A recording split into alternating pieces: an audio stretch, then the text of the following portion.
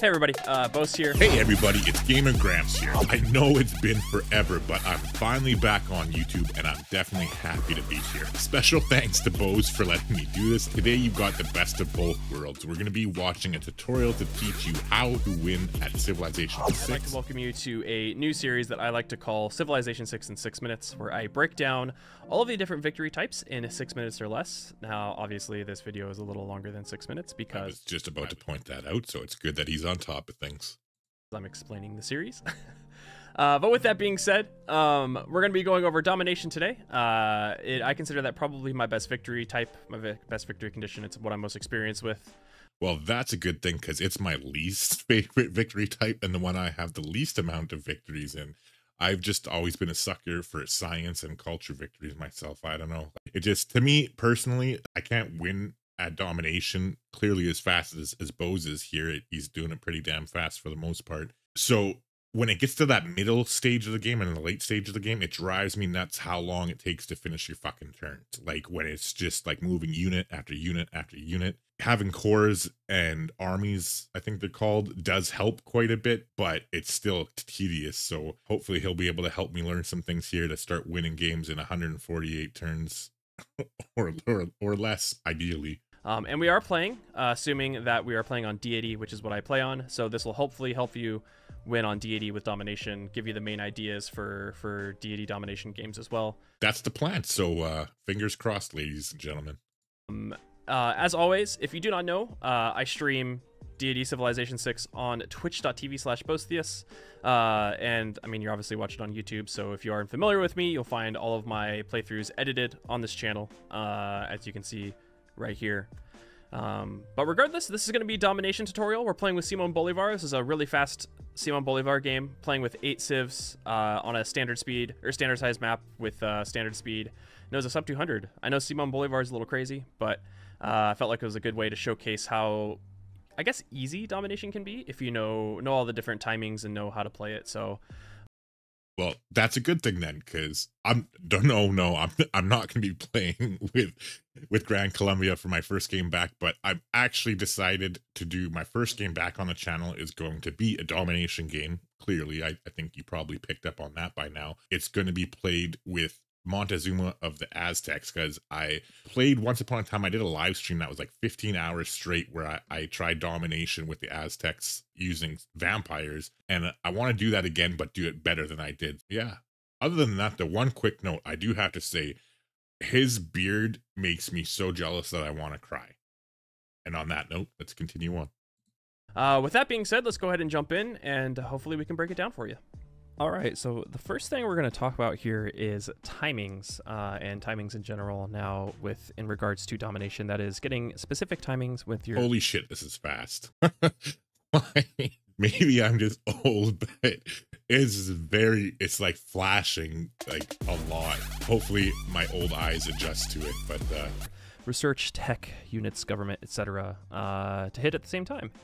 Uh, the main three in the beginning of the game are your getting your great generals around the same time you are getting swordsmen, uh, as well as getting oligarchy at the same time. Uh, this allows you to kind of t- yeah, on on DD, I have to agree. Obviously, I'm not an expert by any means at domination games, but I do know that much. It, it- it's it's crucial. Like even if you're not necessarily going to be going swordsman or whatever, like you can do use other units in, in the early domination game. The the policy card oligarchy, I think he said it was. I'm pretty sure that's the name of it. Anyways, uh, that gives you plus four combat strength to your melee units is very very important you basically should be using it all all the time and also the, the maneuver policy card i think it is if you're going to be going the cavalry route you definitely want to slot that in take over the deficit that you have from playing behind on deity with the AI getting extra uh, experience in combat. Okay let's read these because uh, like i i mean i i know that they do get advantages but it's been so long i de- and i i honestly fuck i, I never had them memorized so thank you for, for having this for me here. Let's see so they get 32% science culture and faith yeah that sounds about right 80% production and gold plus 4 combat strength plus 40% combat experience ah see i never knew the combat experience for sure and then the free tech and civic boost i knew that and obviously i i, I knew all about the starting settlers the warriors and the builders because I love to steal their builders. Uh, but yeah, let's continue on. combat strength uh, throughout the rest of the game. With this, uh, you should be rushing bronze working. Maybe not like immediately as your first tech, but you know, going mining and then maybe into getting bronze working till it, it could be boosted, and then working on something else. Uh, you know, killing barbarians so you can boost bronze working. But your encampment should be your first district place down. Uh, for me, this game uh, is a little bit different. I want a holy site, but in general, your encampment should be the first district you place down, so that way you can start uh, accumulating great general points immediately. Now, with that, uh, once you hit all of Now, I'd have to chime in here too. If I remember right, if you're doing a timing where you're not going for like a swordsman timing, if you're going to hit a little bit later, like if you're doing horseman and other such things, it can also be useful if your first district is a campus. But we're going to keep things nice and simple here and just focus on this. oligarchy, you should be able Now that I think about it, it would make the most sense because the Aztecs have their Eagle Warriors. I, th- I think they're called their their unique unit there early in the game. So I'm definitely going to be going the melee route. To be getting your great general out right around that time, maybe a couple turns later. Uh, it, but it'll be, it'll be around that time, and you also should be getting swordsman around that time. Now, with this, um, I hit swordsman right as I'm declaring war on Cyrus, uh, because I just saw that he had a settler out in the middle of nowhere, so I capitalized on that and stole a settler from him. Um, but with that, moving He one up me. Of course, Bose ones up me. I talk about stealing builders, and he has to go and get a settler. Fucking prick. on from timings uh, that we can talk about military. Now, with your military, uh, for me, I generally actually keep a pretty small military the entire game. I usually start off with three to four archers, and then around two to three swordsmen, and then a battering ram if needed. Um, but for the most part, in the classical era war, you really that's all you really need. Uh, a, a big mistake that I see happen a lot with a lot of people who are asking for advice for you know starting to do domination on deity is they consistently just build army the entire game and what you really want to do is just make sure you're I 100% agree with him here. You want to build yourself a strong starting army, but you ultimately just want to upgrade your units so that just become better and better and better. You do not want to be producing a shit ton of games in the the middle and later stages of the game. Like you should be racing for your production. I mean, you should be chopping forests into units. You should be freaking doing everything you can to get your units out there as fast as possible so that they can start accumulating experience and getting the upgrades that make them even more powerful and then obviously upgrade them as your technology allows as you go throughout the game too on top of that one thing i would definitely recommend and i don't know if he touches upon it here so maybe this is just gonna be like verbal diarrhea and you're gonna get hit with this twice if Bose touches on it but what i like to do is to basically chop out two separate armies and send them in two different directions and this has always helped me to win faster basically because i'm just i'm competitive as all hell and i want to win as as fast as i fucking can and yeah so hopefully he touches on it here but if not let's continue on first core army stays alive and then supplement it as the game goes on. Uh, but mostly, you know, once you have your first core army, then you just spend the rest of your time with your cities uh, building infrastructure, things along those lines. Um, with your military, like I said, you'll, you only want a couple archers uh, and swordsmen, and then as the game goes on, you know, once you research men at arms, you get men at arms, then you'll get musketmen, move on to line infantry, uh, so on and so forth through the game. Uh, but with that, you generally don't want to have a huge army. Um, just enough that way you can uh, snipe a city, take it, and then move on. Maybe defend yourself if needed. Um, but keeping the core army alive throughout the whole game allows you to really kind of destroy the AI because you'll have, you know, double shot. Uh, sorry but yeah i'm just stopping this here because i want to see the upgrade tree it's been so long but yeah i i personally like i don't know what he's going to talk about here but i generally go with volley on most of my my range units because like they're they're offensive but the incend incendiary uh, i can't even talk right now. The incendiaries bonus here is good too but generally speaking for me i usually go down the, the left side of the tree for for my range units anyways. But then again it is nice to have suppression on a range unit or two for the zones of control because it really makes it really makes limiting the ai's movement ability as well as putting their cities under siege a lot easier. So keep that in mind too. It might be something you want to check out. Archers, you know, that move into um, move into crossbowmen, uh, maybe having uh, swordsmen that uh, you know don't have the penalties attacking across water, things along those lines. Uh, and if you Oops, we're gonna rewind that back for a second here. I just to go through the melee combat bonuses here. I personally always take battle cry as the first one because you got to really think about it. Ultimately, the tur- Tortoise gives you plus 10 combat strength when defending against ranged attacks. However, with Battle Cry, you get the plus 7 combat strength versus melee and ranged units. So ideally, like, or sorry, not ideally, ultimately, like realistically, Tortoise is only giving you a plus 3 combat strength, and it's only when you're getting attacked by ranged units. However, the Battle Cry gives you plus 7 against both melee and ranged, and it's also when you're attacking as well as defending. So it's just hands down, it's a fucking way, way, way, way, way better promotion.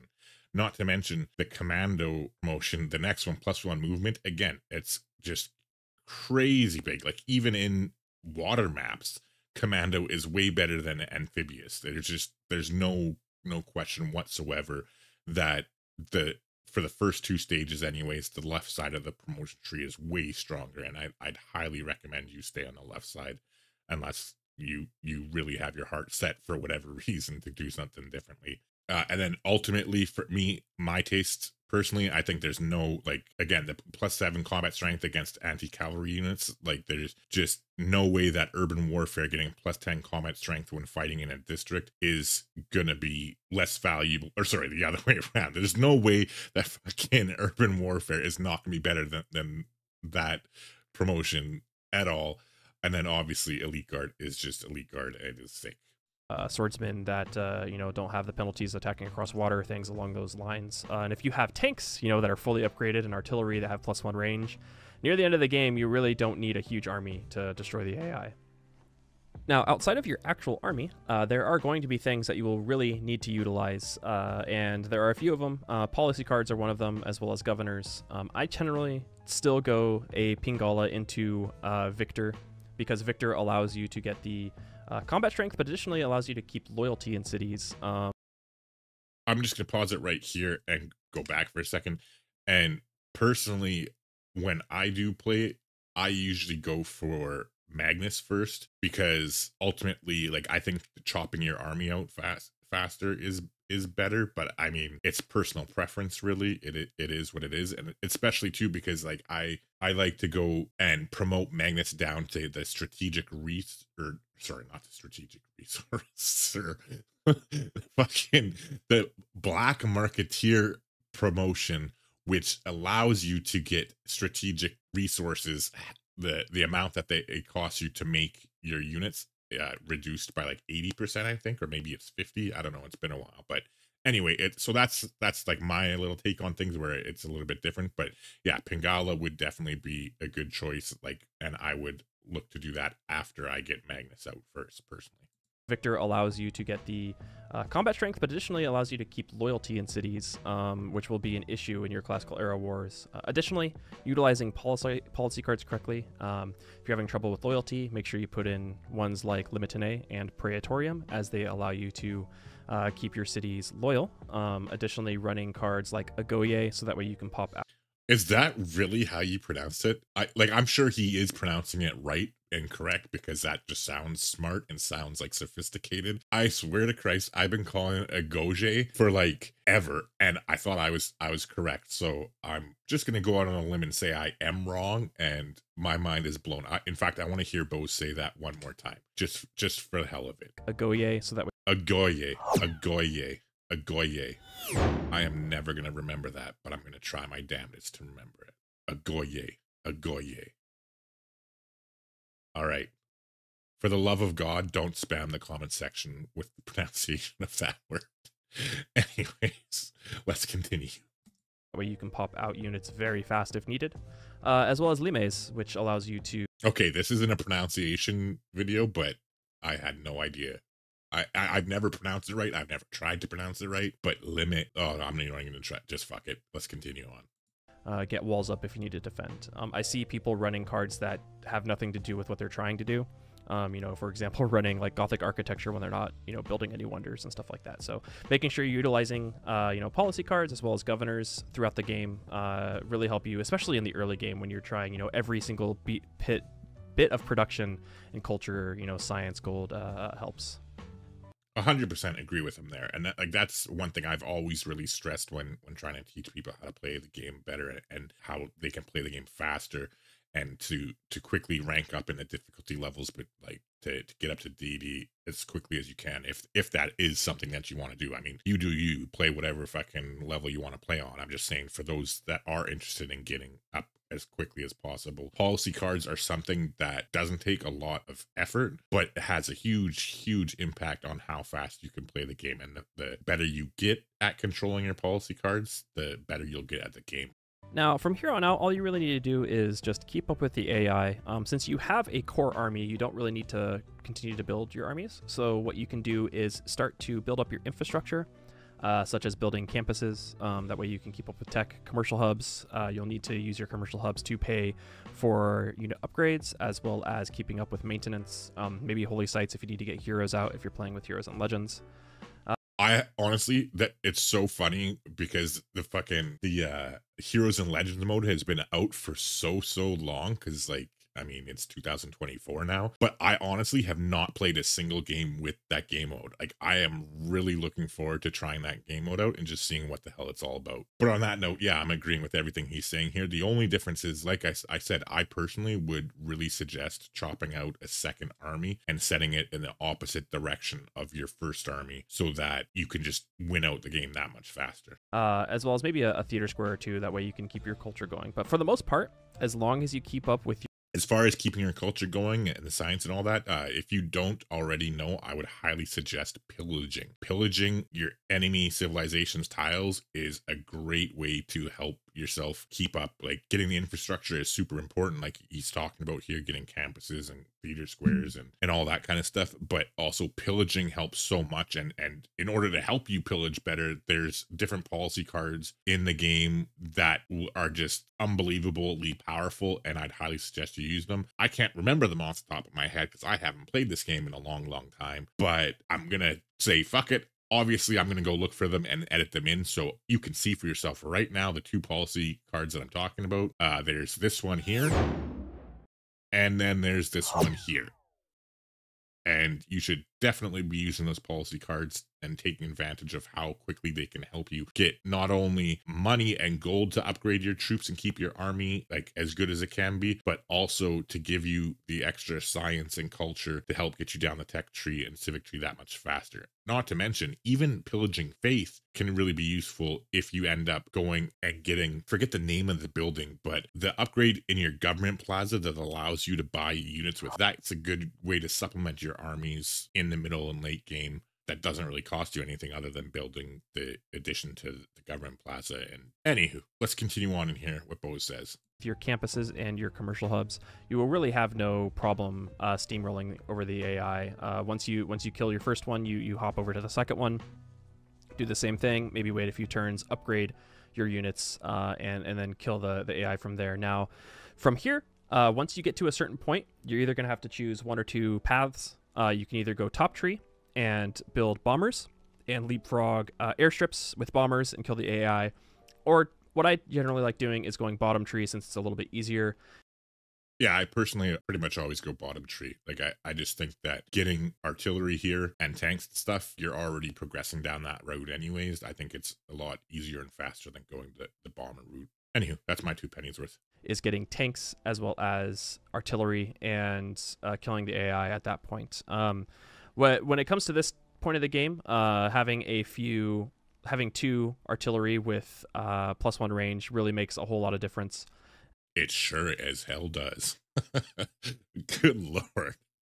Uh, and and that allows you to just melt through through Renaissance walls, uh, especially with tanks, fully upgraded tanks. Which, if you have been keeping them alive through the entire game, uh, you should have fully upgraded tanks. Upgrading them into uh, maybe only building new units to upgrade them into corps and or uh, arm- armies as the as the time goes on. So uh, from here, it's it's pretty self-explanatory.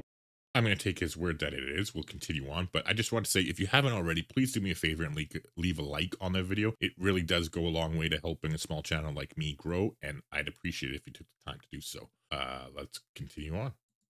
You you kill a sit you kill a civ, repair a district, take your units, heal them, move on to the next civ, and add take all their capitals. Uh, that's really all there is to say about that. In conclusion, uh, with this classical era war setup, there's really a few things that you, all you really have to do.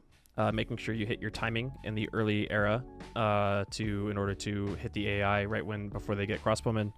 Uh, making sure you have your core military alive through the entire game. Utilizing policy cards to get all of the maximum benefits that you can. Um, keeping up with the AI while you transition through your eras and just kill the AI. Um, overall, like just kill them easy peasy. I like that. like I said, it, it is pretty simple, uh, but I know people struggle with it a lot, uh, especially once it gets to deity. So eventually, I will have a full-fledged domination tutorial. But for now, this is Civilization 6 in six minutes. Um, we went a little over six minutes because it's the first time I'm doing this, but I hope this helps. And if you have any further questions, please leave them in the comments below. All right, well, there it is. That is uh, Civilization 6 in 6 minutes for domination. Um, I hope that you guys were able to at least take something away from it and be able to apply it to, to your deity games. It's pretty self-explanatory. You just really, you know, take your first Civ, uh, take your main army from your first Civ and, you know, kill the rest of them with that main army while you build infrastructure in the background. So uh, I hope that helped. Um, if you have any further questions or if there's any things that you maybe feel lost on, feel free to leave comments uh, in the comment section down below. So clearly, I'd say the same thing. Feel free to leave leave questions and comments and whatnot down below. Uh, it's not going to be in Bose's channel, but again, I do want to say thank you to Boesthius for letting me uh, actually do this reaction video. I appreciate the help from him on that regard. Uh, hopefully, you found this video interesting. A little bit of a double take from him and me. Uh, like I said, I am rusty as hell at the game, but I do know quite a bit about it. And yeah, it's on a personal note, it's been a long while, and I'm happy to be back on YouTube finally. It's it's something I've worked hard for, and you'll be seeing more of me soon. So with that, I'm just gonna shut the hell up and let you get on with your day.